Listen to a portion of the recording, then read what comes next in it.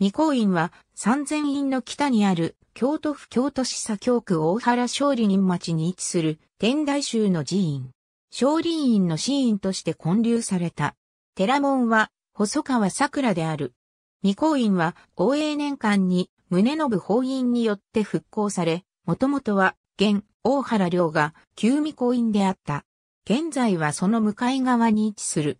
旧未光院の境内に後鳥羽天皇と純徳天皇の遺骨を安置したのは、後鳥羽天皇大十王子の家事宮門跡村、解放神皇である。もともとは、少林院の寺院として、法泉院、未光院、普賢院、理学院、龍禅院などの総本が所在しており、未光院もその一つである。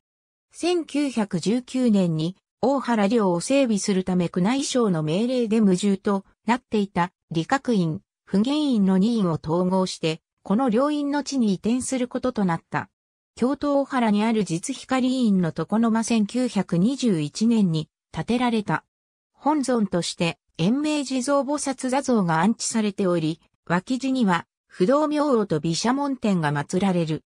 床の間などには生命関係資料や楽器類が展示されており、バチが付属するものは自由に鳴らして実際に音色を確かめることができる。